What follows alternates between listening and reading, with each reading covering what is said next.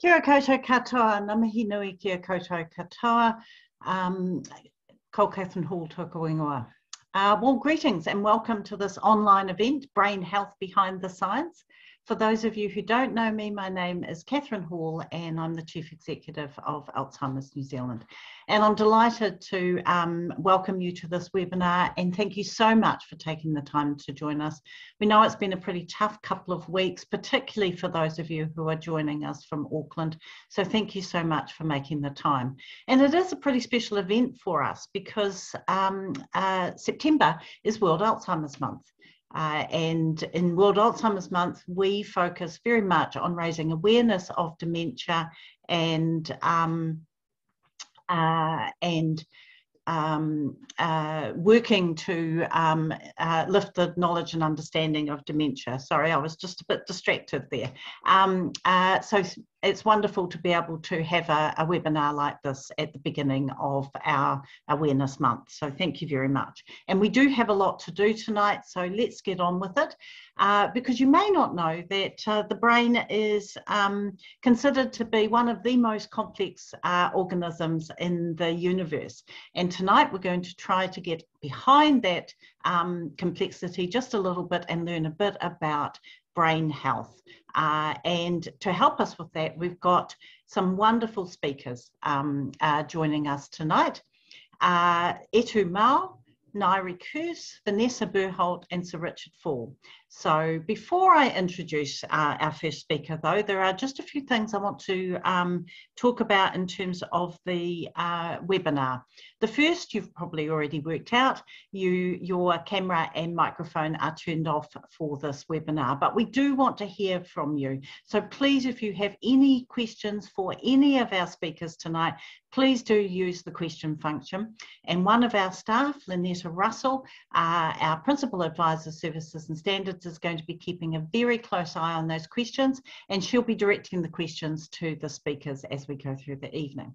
So how it's going to work is each of our speakers are going to speak in turn for a very short period and then we'll, we'll have time for questions to that speaker uh, and then we'll move on to the next speaker. And if we have time at the end, then we will squeeze in uh, a few more questions. So do keep those questions coming throughout the evening. Now, we do like to thank our speakers, and if we were doing this in person, uh, then we would be giving each of our speakers a standing ovation when they finish. But uh, of course, we can't do that uh, while we're on an online event. So I would ask you to uh, join me uh, after each speaker uh, has spoken with um, and thank them with virtual applause. So I will um, cue you into that when we're ready to do that. Uh, now we are, I think, all used to using Zoom um, by now, um, and uh, tonight we are using the Zoom webinar platform. Uh, we are, um, we've uh, had a bit of experience doing this. We have practiced. Uh, we're expecting it to run smoothly. But if anything goes wrong, please bear with us. We will get it fixed very quickly because we know how frustrating it is for you.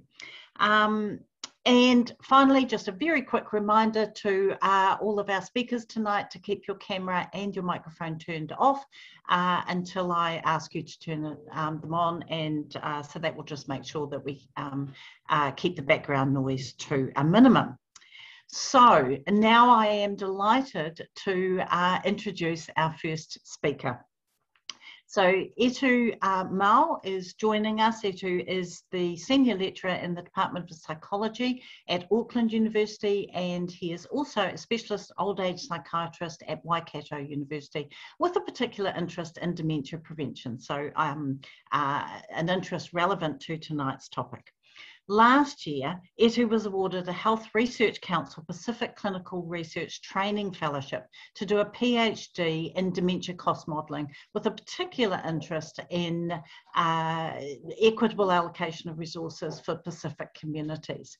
Uh, and as an aside, Etu is also working uh, with us on the update of our dementia uh, economic impact report, which we'll be launching later this, um, uh, this month. So tonight, Etu is going to be talking to us about what's been happening recently uh, in um, uh, research into brain health. So Etu, I'll just get you to turn your camera and um, uh, microphone on for us, please. So Malo lelei, uh, Etu, wonderful to um, have you joining us um, during what I think is Tongan Language Week. Um, we're really looking forward to hearing what you have to say. So over to you, Etu. Well, thank you. Um, thank you, Catherine. I'm just going to quickly share my screen. So the brief I was given to talk about today um, was um, brain health. And what I've titled my slide as, I've lost it so I can't even see it on my screen, um, is Body Health is Brain Health. So really briefly, when we talk about dementia, what we're talking about is basically an umbrella term that covers a whole range of different cognitive symptoms and cognitive impairments. And then under that umbrella are a whole stack of different types of dementia. And you would have most likely heard about the common Alzheimer's type dementia. But there's also a lot of other dementias as well, and they all affect different parts of the brain, and there are probably different drivers that are causing those changes that manifest as these dementias. And that's a really important point because to date, we don't actually have any cures for dementia. And one of the reasons for that is just like I've said, because there's so many different types of dementia with so many different underlying causes, it's not surprising that we can't find this kind of one size fits all cure that will kind of wipe cognitive problems from anyone manifesting them. And a really good example of that is if you go to see your GP with something like a stomach ache, it could be because of the dodgy leftovers you ate. It could be because your appendix is playing up. It could be because you've got an ulcer, you've got cancer, or in more recent days, a stomach ache might mean you've got COVID. But you know, all of those things have different causes and therefore have different treatments. The second point that's really important is that we know that while we conceptualize dementia as being this disease that somehow suddenly occurs when you get old, what the evidence is starting to show is that actually it's the changes, the small incremental changes that are happening years, even decades earlier, that are slowly creating those changes in your brain and slowly building up to a point where you manifest or you eventually show those cognitive difficulties. So, where the evidence is really going now is that actually it's your life in your 40s and 50s that's going to matter most because that's when the changes start. And that's probably the other reason that medications to date haven't worked so well because a lot of the studies on medications for dementia are looking at people who already have symptoms of dementia, who already have cognitive problems. Um, and potentially the horse has already bolted then. And actually, we need to be targeting much, much earlier in this course to stop the changes happening in the first place. It's not all doom and gloom, though. So, that blue bar that you can see at the bottom of the graph, those are countries like New Zealand and Australia and the United Kingdom, Canada, and what we've shown is that, yes, dementia numbers are climbing over time, but they're not climbing as rapidly as some other countries, which is what that red line shows. And the reason for that is because New Zealand, along with many other countries, has put in place a lot of public health measures over the last three or four decades, measures around you know, smoking prevention, alcohol harm, the five plus a day for veggies, you know, all of the Heart Foundation um, public health measures and campaigns that have happened. And it's not surprising that, thinking about it now, that actually the rates of dementia increase in places like New Zealand isn't quite as quick because those same risk factors are the ones that are also risk factors for developing cognitive problems and subsequent dementia in later life.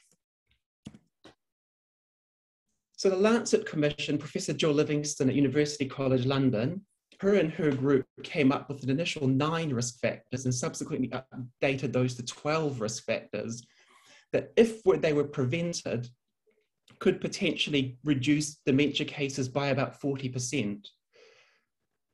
So I, along with a couple of other colleagues, got in touch with them and we ran the same numbers but for New Zealand. And what was shown is that actually almost half of dementias in New Zealand are actually preventable if we target these 12 risk factors and over half are preventable potentially for Maori and Pacific populations.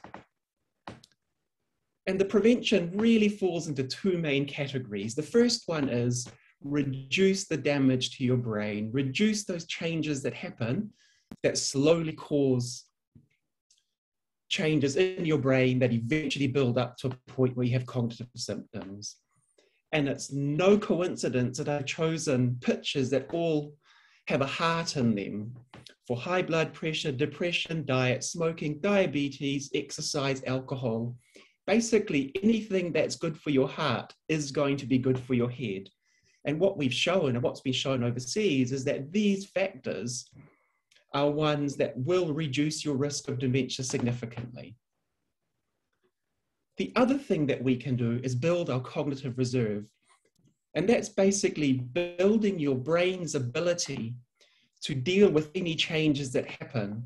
And what the evidence has shown really strongly is that the more that you are socially interactive, the more that you have a social network, that you engage with other people and community things, the higher your education, and the easier it is for you to connect with other people, and the more socially stimulating your life is, the more your brain will be able to deal with those little changes if they happen.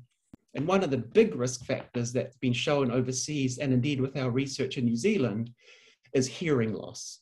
Because hearing fundamentally affects the way that you can engage and interact with other people and is going to therefore reduce the amount of social stimulation that you get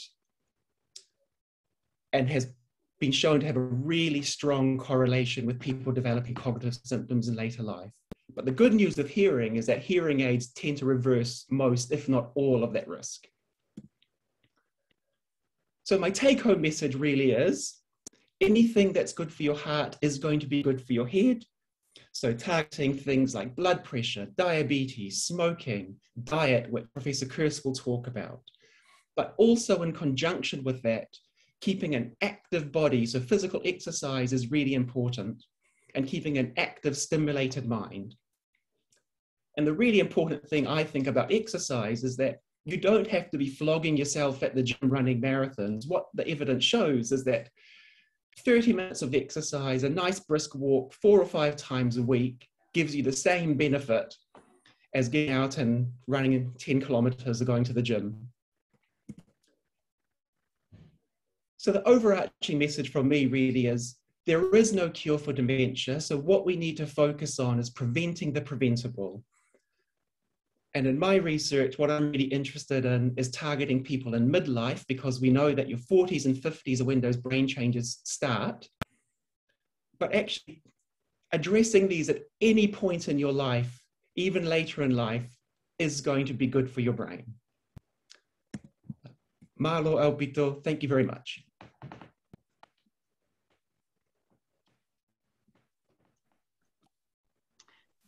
Marlo, Etu, thank you so much for that. Um, and a, a, very useful reminder to us all, I think, that um, what is good for our brains is good for our health.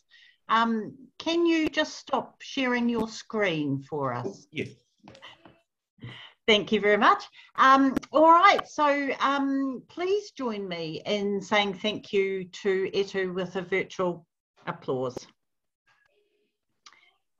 And uh, now I'll just get Lynetta Russell to turn her um, camera and uh, microphone on, and she's going to be um, directing some of your questions uh, to Etu.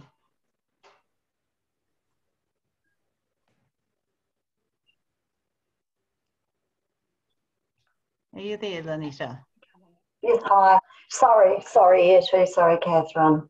And good evening, Etu. Thank you.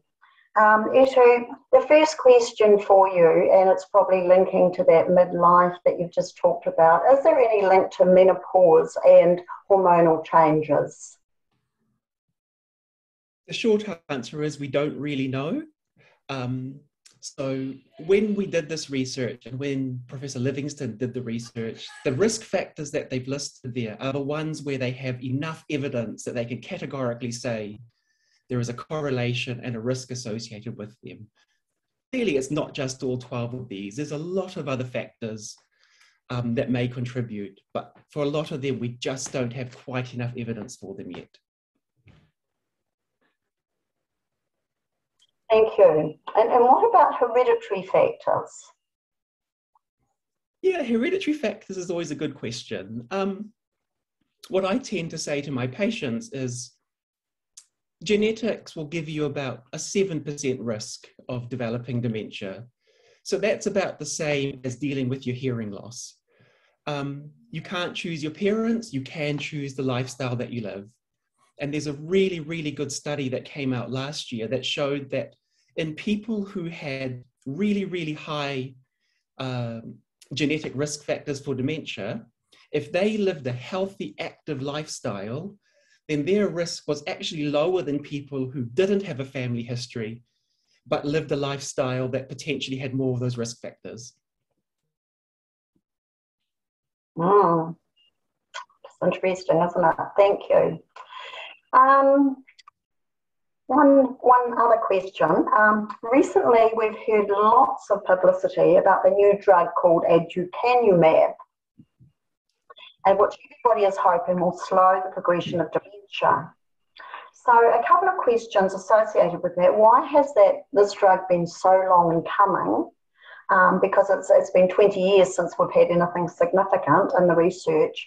And why do you think it has not been approved for use in New Zealand when so many people with dementia and their families are really hanging out for something? Right.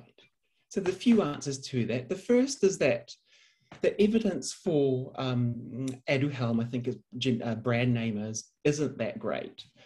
Um, and in fact, the side effects associated with it are so high that most um, uh, researchers around the world um, and health organizations are actually pushing back on it and saying the type and number of risk factors that are involved are so high that actually they outweigh the, the small benefit that it provides.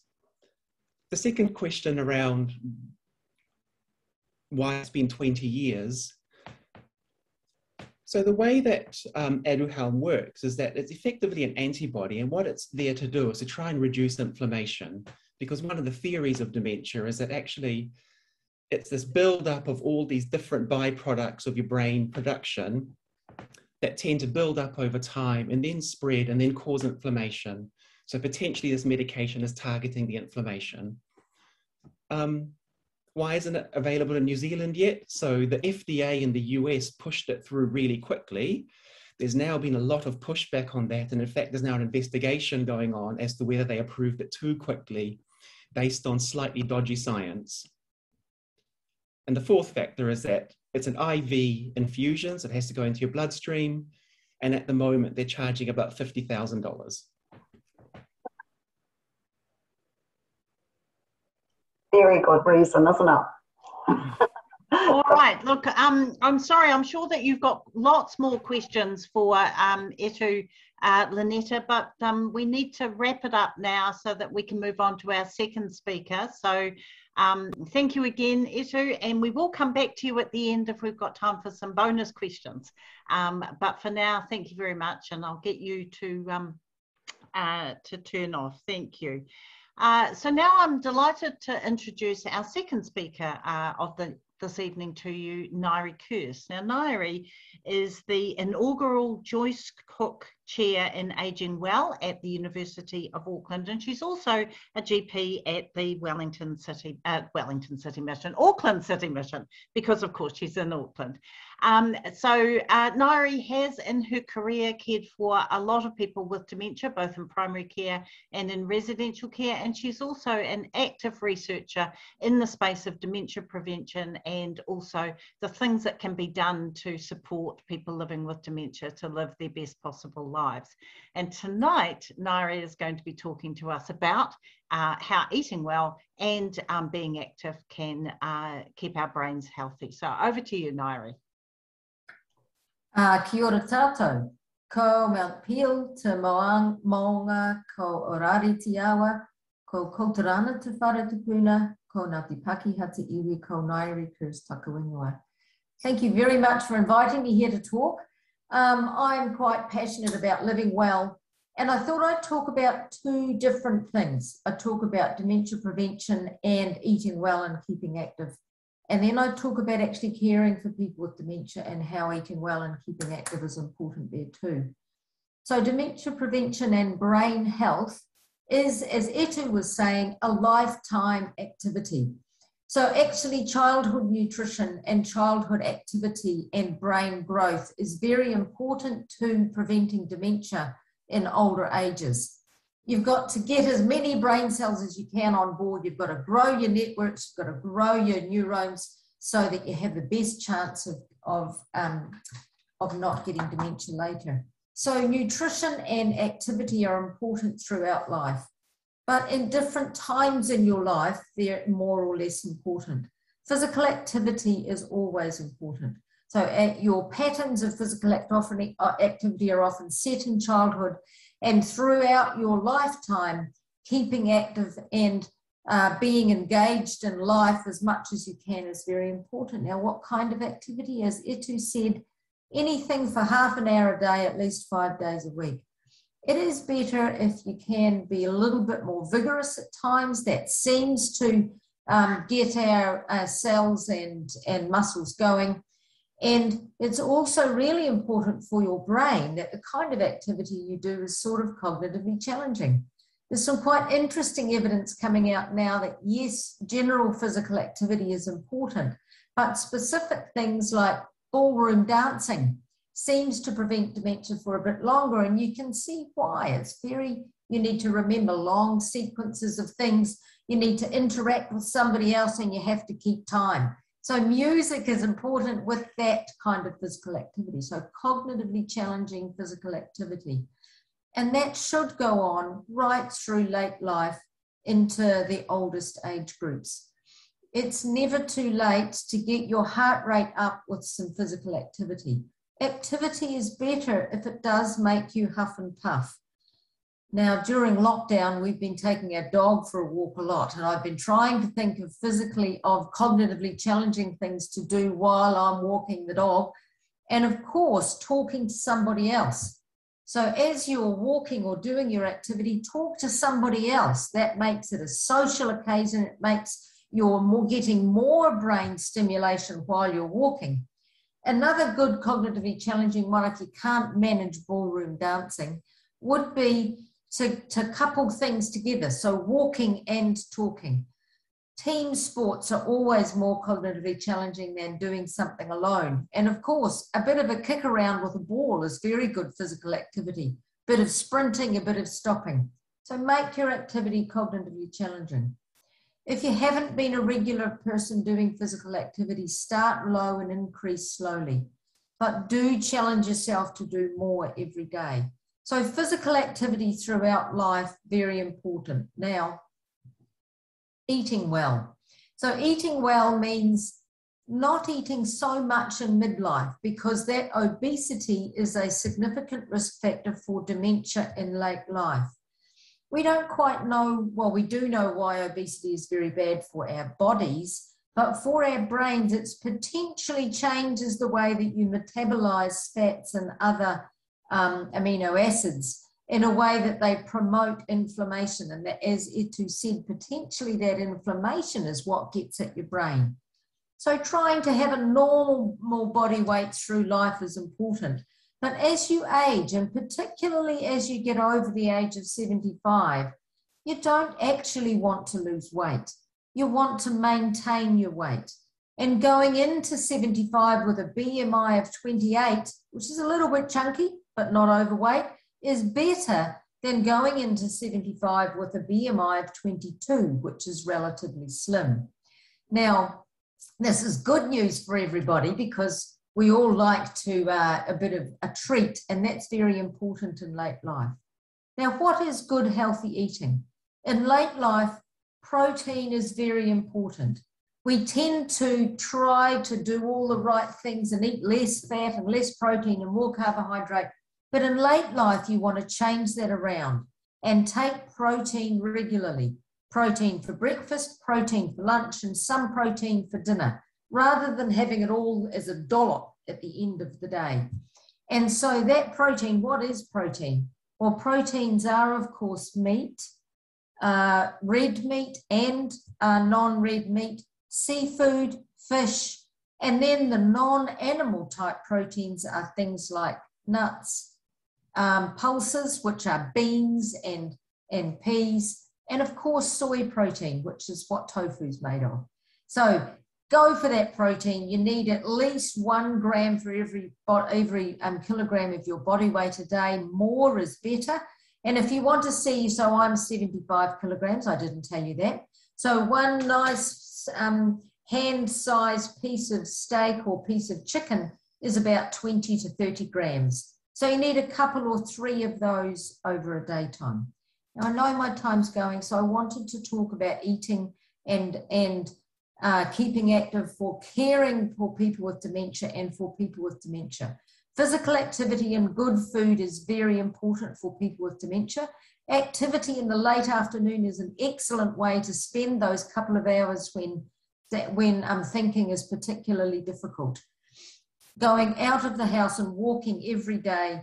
And then the exercises that are especially good for preventing falls that sit to stands, strengthening the lower limbs, and doing some simple balance um, exercises are very important for people with dementia as they are for people, for all older people. Falls are one of the commonest causes of hospitalizations for people with dementia. Preventing falls, the commonest, best therapy is sit to stands, lower leg strengthening, and balance retraining. There are community uh, classes for falls prevention which are available throughout New Zealand. Look on the ACC website, ask your doctor, where can I get my class? Good for people with dementia and people without. Eating well is often difficult for people with dementia. I would really like the message to that good nutritious food should be around all the time. People with dementia will respond to social cues just as people without dementia will.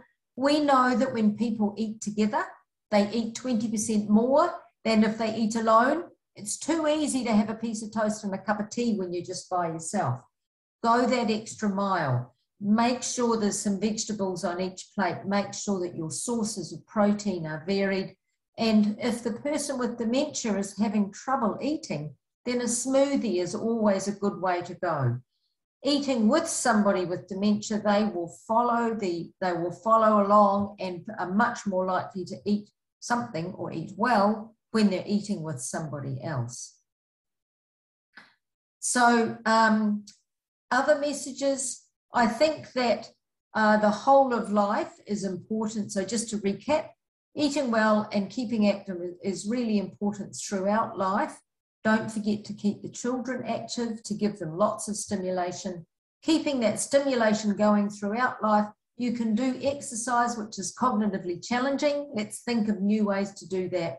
And then eating well when you are older is even more important to not lose weight over age 75 because that is a significant risk factor um, for not doing so well and not aging well. Okay, that might be my seven minutes. I hope I haven't gone on too long, Catherine. Perfect timing dear Ngaire. thank you very much. And thank you for that reminder um, uh, a lot of really useful messages in there, but I think that many of us might have just locked on to the it's okay to have the occasional treat and don't forget ballroom dancing. Um, so, but thank you. Please uh, join me in saying thank you to Ngaire and uh, Lynetta. Um, I'll get you to turn yourself on um, so that you can um, ask uh, Ngaire some questions. Right. Thank you, Ngaire.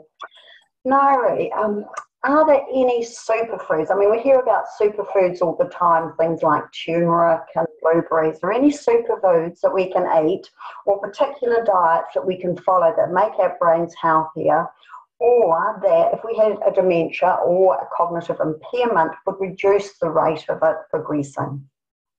Look, that's a very, very topical question. Now, I've been reading the literature for a long time and I'm a wee bit of a purist. I like there to be significant number of trials conducted very carefully to prove that things are useful.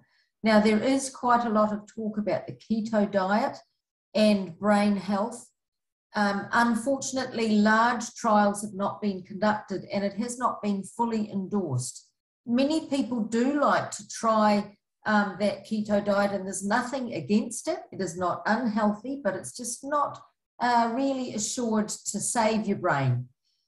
There is uh, lots of biological evidence that highly coloured foods tend to be good for you. Blueberries, turmeric, um, thing, and um, raspberries. And there is a metabolic theory that goes that these help um, mop up the antioxidants and can promote brain health. There is some evidence in the laboratory, but again, it's very hard to change people's diets so they only eat brightly coloured foods. and I've been involved in a couple of longitudinal studies which have looked for the link between brightly coloured foods, and particularly in late age, and better brain health. And it's not convincingly proven, but it's still quite good advice because I like blueberries and I like raspberries. So maybe that's something to um, think about. There have been various trends over the years vitamin E, bee pollen, um, ginseng and um, things like that have been suggested to be useful. They've generally not been highly effective in trials when you've tried to test them in a longer term looking for brain health. Many of the supplements that are available are quite expensive, and I would be more worried about people spending too much money on a particular supplement when that money might be better spent in other ways on other areas of a healthy diet. So um, I think I may have addressed some of those things. I might not have gotten all the aspects of that question. I think you did pretty well. That was a pretty comprehensive response. Thank you. Um, we've got another question here. Is there any research about childhood poverty and later life dementia, given the importance of diet on heart brain health? Yeah, that's a very good question. So Martin Prince is a favorite, uh, famous um, geriatric psychiatrist who has done lots of trials in middle and low income countries. One of the strongest predictors of dementia in late life in his trials was leg length, meaning short people were more likely to get dementia. Now I'm short, but I was well fed during um, during my childhood. So nutrition in early life is how you don't grow, and, you, and nutrition in early life is very important to um, brain development and uh, does and is important. Now, poverty in childhood doesn't necessarily mean you eat poorly. For instance, during the Depression in New Zealand, the children generally had enough food, and certainly rural communities and Maori who live in areas of high deprivation they did eat well during childhood. So it wasn't the poverty, it was the impact of poverty on access to good nutrition that is likely to cause dementia in late life. So that's a very good question, though. And I'm very passionate about our childhood poverty issues in New Zealand, where we've got too many children growing up in poverty. And yes, we need to think about how to remedy that.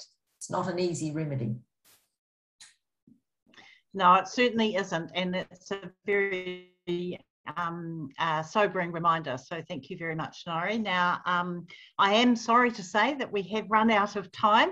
Uh, and again, I am sure that Lynetta has a list of questions still to ask you, but um, we do need to move on now to our next speaker. So thank you very much.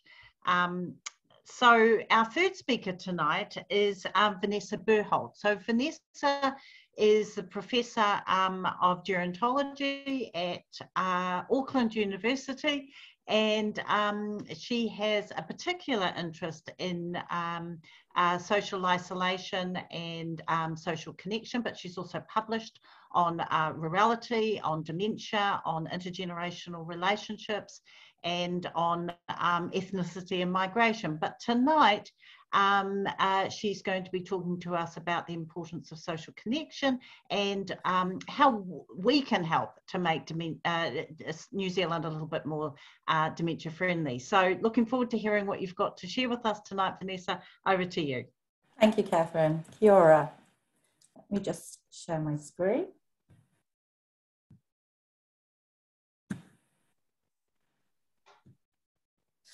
So today I've been invited to talk to you um, about social connections and brain health.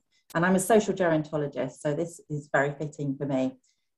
There are several arguments for the mechanisms by which social connection, isolation, or loneliness can impact on brain health. And Ngaire and Etu have already touched on some of these. Uh, these are three of the different hypotheses that suggest some of the mechanisms by which this works. So the vascular hypothesis suggests that social connections can reduce our risk of cardiovascular disease. And so they have an indirect um, impact on brain health because cardiovascular disease is one of those risks for dementia. The stress hypothesis is fairly sim similar, but this suggests that uh, stress is responsible for increases in cortisol secretions in the brain. And over time, cortisol can lead to the loss of neurons in brain and is associated with cognitive impairment and dementia.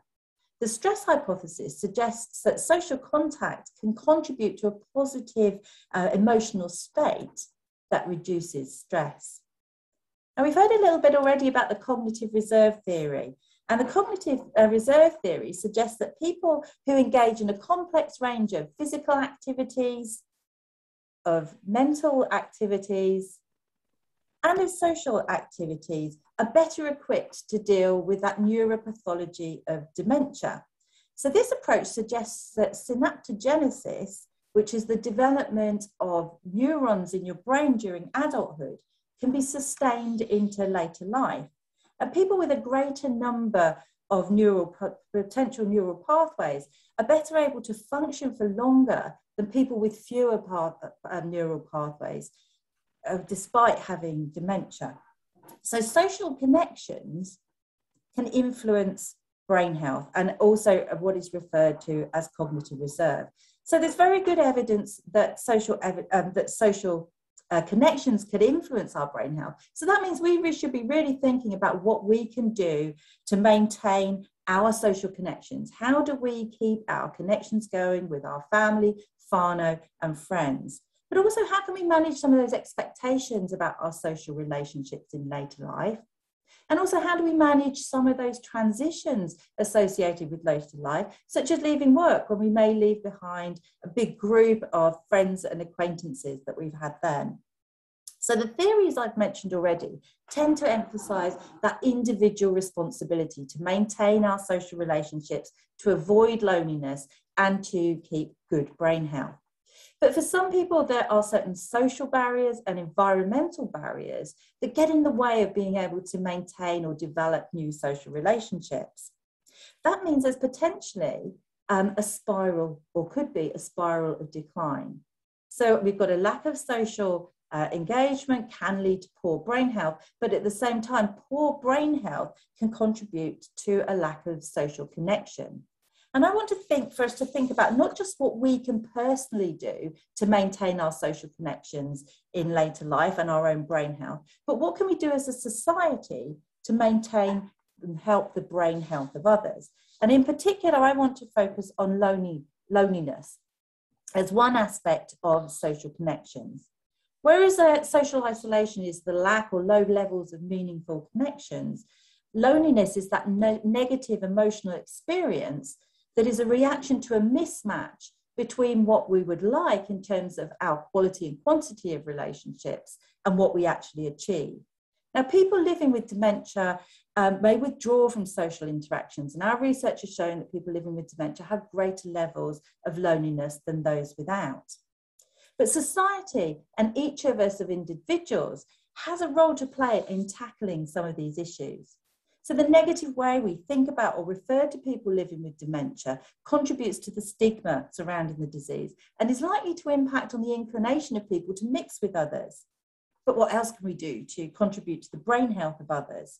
If you know someone with memory loss or dementia, don't make assumptions about whether or not they want to uh, participate, but um, offer to, to, go to the cafe or do the things that you've done with them before, go to the pictures or the cinema, and keep doing the things you've always done together for as long as possible. Now, community groups don't exclude people with the first sign of memory loss. What could you do to make things easier for people to continue to participate? Even something simple like name badges helps people avoid that embarrassment of potentially uh, forgetting friends and acquaintances' names. Now, family, friends, and neighbours often offer travel assistance to shops or medical appointments. But what about offering lifts to see a friend or a family member? And how many of us experience the impatience of others in a queue, say, for example, at a shopping checkout or at an ATM? What if that person at the front, that's their only social contact and they're living with dementia? Just try and hold some of those negative comments in check. Because I want you to remember that the way you react, interact, or treat an older person with dementia can shape their future social relationships. Discouragement can lead to more withdrawal, social withdrawal, where there is where encouragement might lead to better social connections. So, what support can you offer to help people living with dementia to maintain their brain health through social connections? And finally, I just want to think about the environment we need to think of the way that social, um, the environment impacts on social connections. The World Health Organization Global Action Plan describes dementia supportive communities as communities that are inclusive and that maximize the potential for people to participate. So the physical environment plays a really important role in how much freedom and choice we have over going to the places where we interact with other people. In 2018, New Zealand joined the World Health Organization's Age Friendly Communities Initiative, but we don't know to what extent that's had an impact on people's social connections or their brain health. We need public and private spaces and public and private transport that is usable and that can facilitate us in maintaining our social connections, whether we live in a remote rural area or whether we live in a city. Now, if you work in a field that has the potential to contribute to making New Zealand an um, dementia supportive place, then use your influence to try and make those changes. Because protecting our social connections protects and contributes to the brain health of all of us. Thank you.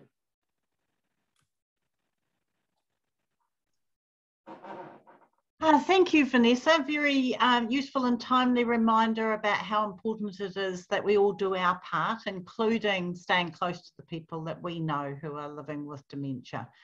Um, so thank you very much. Please join me in thanking uh, Vanessa. And uh, Lynetta, do turn yourself on and um, I'm sure you've got some questions for Vanessa. I have indeed. Thank you, Vanessa. First question.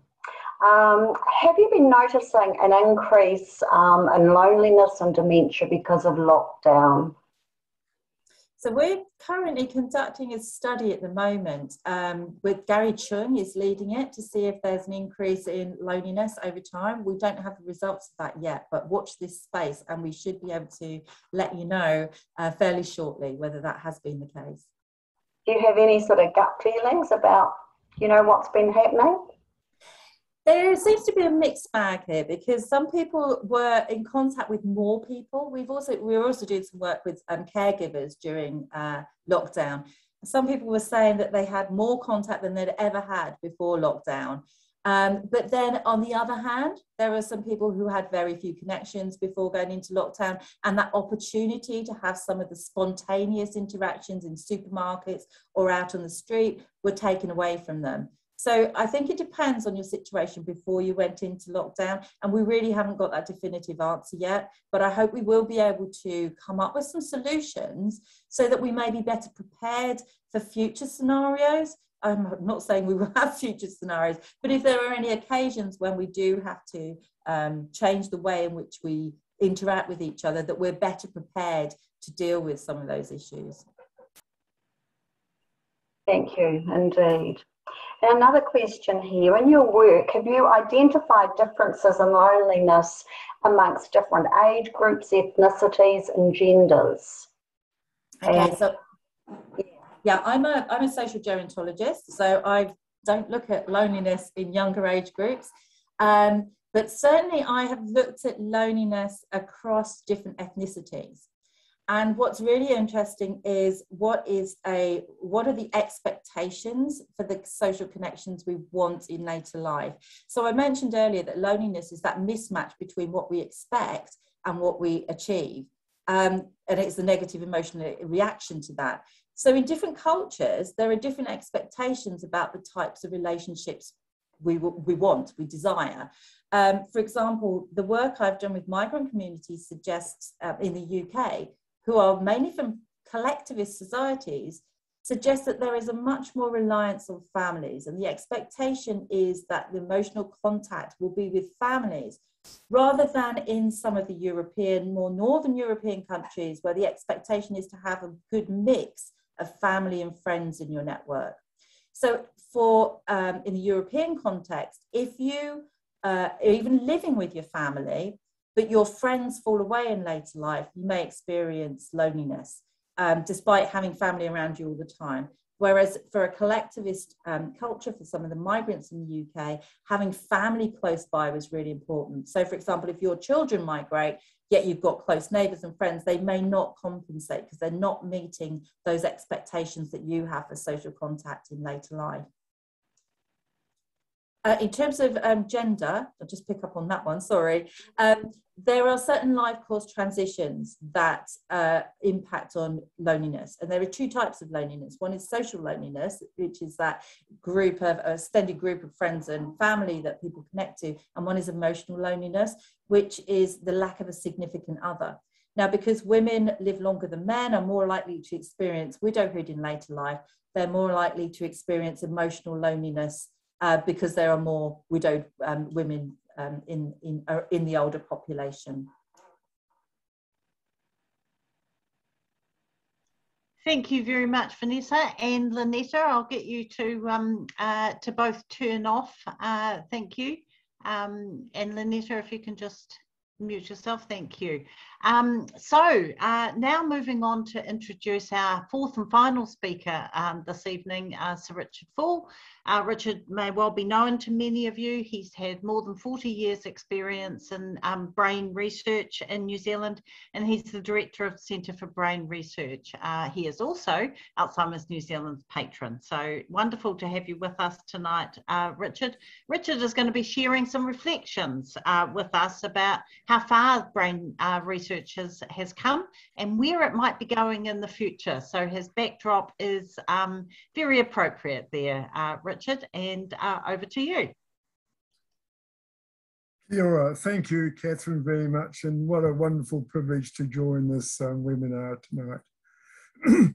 so I'm going to talk a little bit about research and the challenges of research and where, where we've got to. Um, and then from that, look at, um, you know, how can we actually take Alzheimer's forward in terms of trying to stop it and slow it down, and then give you a bit of an insurance policy, bringing together some of the uh, wonderful ideas you had from the previous three speakers about um, how to make sure we get the best value for life and try and slow down this terrible disease. So first, comment about the research. Well, I've been in research for 40 odd years, done a lot of work on the human brain, and others overseas have looked at Alzheimer's disease and dementia. And what we can say briefly about the research is that we know it is complicated. The, the pathways, there's multiple pathways in the brain which are involved with dementia. You know, dementia is without mind. You actually slowly lose your mind. And our mind is so incredibly complicated. If we can unra- unravel dementia, we would unravel what the human mind is. So little wonder that it's a complicated disease. There's no single cause has been identified. So where you don't have a single cause, you can't develop a single treatment. With COVID, of course, we know what the cause is. It's, it's this virus. And therefore, if it's a particular virus, you can develop a vaccine to it. And that is, that's great. That's a, that's a treatment which is going to be very useful. We don't have that. It's not, you know, Alzheimer's is not caused by one single thing. It's not caused by a virus or bacteria or one particular cause. So therefore, difficult to get a drug to stop that. Also, drugs have failed in a way because 99% virtually of most drug trials initially have been developed in rats. Now, the rat brain is a very simple brain compared with the huge human brain. The human brain is enormously complex. We have complex behaviors, memory, and all the rest of it. We far outstrip the capacity of a rat brain. So, every single drug developed in the rat brain has actually failed in the human brain. And that's, that's, that's not good, but it's a reality. So, we don't have a miracle cure for our Alzheimer's disease and dementia. So what can we turn to then? Well, you know, if you can't cure it, perhaps we could slow it down. And um, slow it down by trying to minimize all the risk factors which we know can, can contribute to the disease. Why slow it down? Well, we've worked out that uh, we've actually done the statistics for New Zealand. If we could try and slow down the disease by two years, we would decrease the prevalence of it by 20%. If we could slow down the progression by five years, we would decrease the prevalence by 50%. In other words, you push out, you get, you build the good years and minimize the bad years. You don't have something completely unrelated to Alzheimer's and dementia. So that is what's so powerful about delaying the disease process. Now, what's the best insurance policy then for delaying the risk factors for, for delaying the disease progression? Well, a common thing coming through from all the speakers tonight, and Etu's pushed this right at the beginning, What's good for the heart is good for the brain. Now, why is that? Well, there's a huge amount of research which actually demonstrates that very clearly. Every time the heart beats, it sends blood around the whole body. Now, your brain is just 2% of your body weight. It's relatively small compared with your whole body. But coming out of the heart directly to the brain is these two big uh, arteries, one to each side of the brain, called the internal carotids. Every time your heart beats, 20% of the output goes to the brain. That's one fifth of the output. And it's only 2% of the body weight because the brain critically needs the best blood supply ever to supply oxygen, to supply nutrients, glucose, and all the other things which feed your brain cells and keep you active. And so if the pump fails, your brain fails. Things that cause heart disease will end up causing a problem with your brain. So, what are the things which are critical for looking after your heart? Physical activity is absolutely vital. Keep moving. 40 minutes a day, three or four days a week. You don't have to be a, a top Olympic athlete. You don't have to do a marathon, but exercise, sweat it out a little bit. But do exercise you enjoy. We know from animal studies that stressful exercise actually results in decreasing numbers of brain cells. Good exercise, which you enjoy, whether it be walking or running or whatever, will actually increase neurogenesis and increase new brain cells. The second thing, of course, for your heart health is stop smoking. The third thing is, and a number of things, anything that affects your brain health, your heart health rather, like diabetes or high blood pressure or high cholesterol, which clogs up the arteries not only in your heart, but also in your brain, they should be treated get them under control, lower your blood pressure, look at what's causing the high cholesterol, treat it, Use specific drugs for treating it. So look after your heart first and foremost. The second part of this insurance policy, which you've heard in a number of ways from the previous speakers, is keep your brain stimulated. Writing, reading, crosswords, join book clubs, playing card games, music, is a wonderful global stimulation of the brain. Playing a musical instrument is wonderful. Doing group singing, you've heard dancing. You heard that from Ngaire is, is great. Kapa, haka, doing knitting, learning multiple languages. We know that the more languages you learn, the less the chance of getting dementia. Fascinating, isn't it? Learn new knowledge of whatever you're interested in. The third general area for this insurance policy is social interactions. You know, social interactions we know you know, we know from animal studies actually, if you put rats in cages which stimulate them, they actually make more new brain cells and slow any disease process down remarkably. Join clubs, mix with people, do voluntary work, reach outside, volunteer to help others, join church clubs. All the range of things which Vanessa talked about. So rich social interactions are critical. The other things which are, are very important, which you've also heard about, is your diet. Look at the things and eat the things which we know that the Mediterranean diet, vegetables and fruit are great. Look at the low fats, meats and so on. Follow Nai's advice in terms of how much meat you should eat low, have low alcohol, not high alcohol. You don't have to drink a bottle of red wine a night. Just one glass is fine. It's good. Also, treat your hearing. So you see, all these, these things put together will help give you a healthy heart, a healthy brain, slow down the progression of brain disease, slow down the progression of dementia, and will give you quality of life for longer.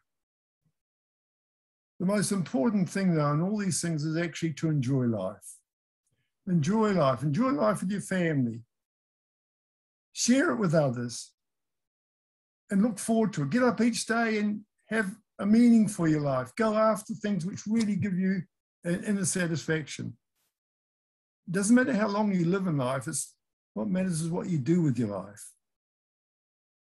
So putting all these various things together, you see all the things that all the, the previous three speakers have said, and the overview which I've tried to give you will give you an enjoyment of life and you look back on, you enjoy your grandchildren, and that's really what life's all about. So thank you very much, Catherine.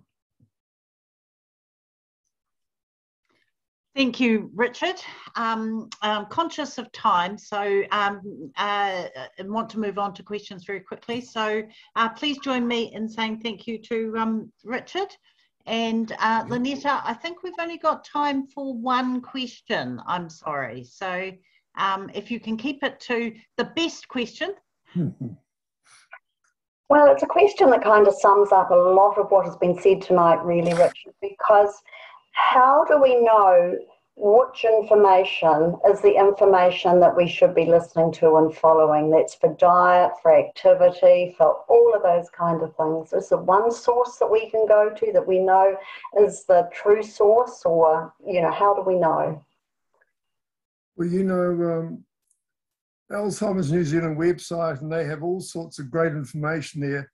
Is go go to that website and, and then you can just Google some of these things. But yeah, I, I, I get the point that you can have too much information.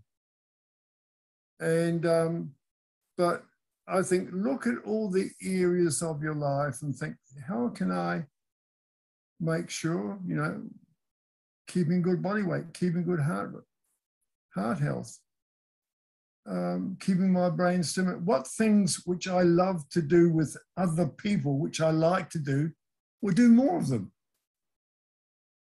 Food, I think we all know what the best foods are. We've talked about that. But I think um, reaching out to your friends, to your families, to your neighbours, you know, the and with these with COVID, of course, we're in lockdown, and it's sort of it's a you're all locked up together. Um, one, you know, and you're separated from people, and there's actually that's the worst thing in the world but you can talk. We we developed in our little street here. We developed our own WhatsApp and got communication with all our neighbours, and we sent notes around in the last lockdown, and now in this lockdown we've reactivated. We've had discussions, and and you interact in different ways. So I think you just got to look. Everyone's environment's a bit different, and um, one thing which I didn't mention, of course, was exercising brings your body weight down, and that's good. So look at what your actual body weight is. Is it the ideal? And you can do lots of things that we've suggested on how you can actually do that. So all these things put together in different ways will be different and uh, applicable to different people. So and just go and enjoy life. Make sure you enjoy life. Don't make it a drudgery. Have fun.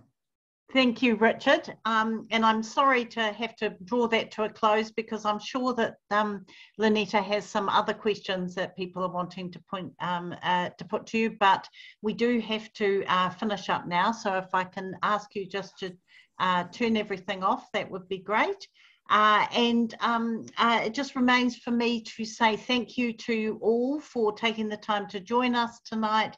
Uh, thank you um, to our wonderful speakers, uh, Etu Ma'u, Ngaire Kerse, Vanessa Burholt and Richard Faull um, for um, really thoughtful and useful presentations and for keeping to time. Uh, thank you also to Lynetta for um, uh, moderating the questions so well for us. Uh, just a few final comments from me. Uh, first up, I did say at the beginning that it is uh, September is World Alzheimer's Month. This year, we are asking everyone to join us in moving for dementia. So, taking one of the, the tips about how we can keep ourselves healthy. Uh, also, um, if you would like to know more about uh, dementia or you would like to know how you could become a dementia friend, which will give you some tips on how to stay close to people with dementia, or you would like to join us at our conference at the end of the year, then please do go to our website. It's a wealth of information about dementia and other things there on alzheimers.org.nz. But for now, thank you so much for joining us.